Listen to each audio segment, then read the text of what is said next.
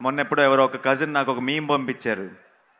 ముందు పుష్ప తర్వాత ఆర్ఆర్ఆర్ ఏంటి శ్యామ్ సింగ్ రాయ్ శాండ్విచ్ అయిపోతున్నా అని బ్రెడ్ ఎప్పుడు బాగానే ఉంటుంది. మధ్యలోనే సర్ప్రైజ్ ఉంటుంది.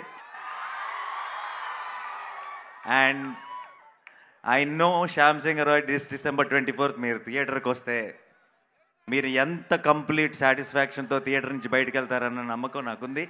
నేను సినిమా చూశాను నాకు తెలుసు కాబట్టి గర్వంగా చెప్తున్నాను. క్రిస్మస్ మాత్రం మందే పల్లవి నాకు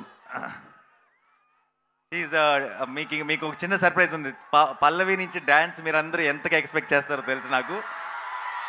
ఇక్కడ ఏం డ్యాన్స్ ఏం చేయట్లేదు మీరేం కంగారు పడద్దు నువ్వు కూడా కంగారు పడద్దు. బట్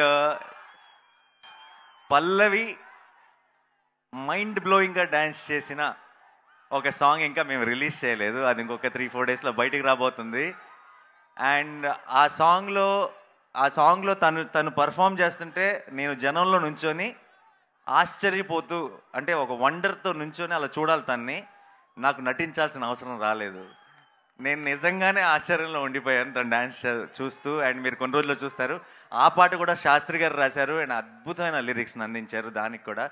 అండ్ ఆయన ఒక ఒక నెల రోజులు అది దేవి మీద పాట అది. అండ్ ఆయన ఆయన మాట్లాడినప్పుడు చెప్పారు ఒక దగ్గర దగ్గర ఫార్టీ ఫైవ్ డేస్ మళ్ళీ దేవి మీద ఉన్న పుస్తకాలన్నీ తిరిగి చదివి రాశానని చెప్పి. So that will be a very very special song.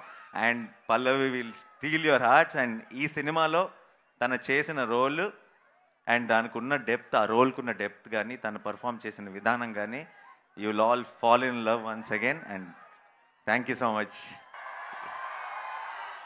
ఈరోజు ప్రోగ్రాంలో మా అందరికి ఇంత ఎనర్జీ ఇచ్చిన మీ అందరికీ thank you so much twenty fourth రోజు టాప్ లెగిసిపోవాలంతే.